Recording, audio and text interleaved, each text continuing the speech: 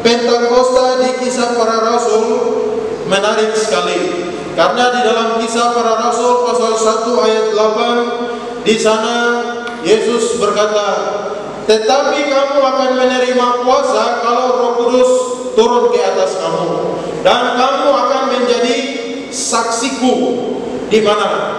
di Yerusalem. Itu di dalam kisah para rasul. Nah menarik sekali kenapa harus Yerusalem?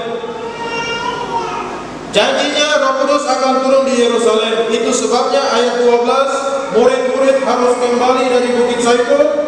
Mereka kembali dan tunggu janji itu digenapi di Yerusalem. Alkitab katakan ayat 14, mereka tekun sehati berdoa selama 10 hari mereka tunggu. Waktu Yesus mati Alkitab katakan murid-murid tersebar.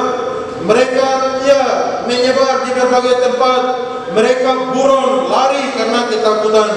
Tapi waktu Yesus naik, mereka tidak lagi terpencar. Mereka ada di satu tempat di Yerusalem yaitu di tempat yang atas. Bapak Ibu Saudara, kenapa harus di Yerusalem? Nah, perhatikan karena Yerusalem waktu pasca Yerusalem adalah kota yang sangat mengerikan. Karena di Yerusalem itu kita lihat ada orang Farisi, ada ahli-ahli Taurat, dan di sana ada orang militer. Waktu pasca Yesus ditangkap, Yesus diadili, Yesus disiksa, dan semuanya itu sudah kacau balau.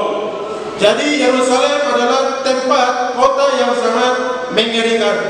Dan Yesus katakan kalau Roh Kudus turun, kamu akan jadi saksi duluan itu di Yerusalem. Nah, Bapak Ibu, yang kedua kenapa harus Yerusalem? Karena Yerusalem ini akan menjadi pusat titik di mana ya Roh Kudus itu akan mulai bekerja. Jadi start awalnya itu dari Yerusalem. Itu sebabnya harus tunggu di Yerusalem.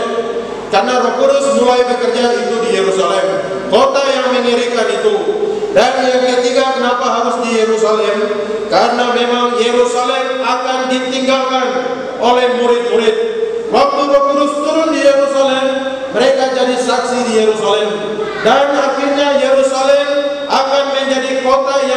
ditinggalkan oleh murid-murid.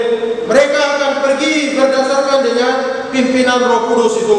Mereka akan tersebar ke segala bangsa, ke segala tempat untuk memberitakan Injil dan Yerusalem akan ditinggalkan. Itu sebabnya titik pusatnya adalah di Yerusalem.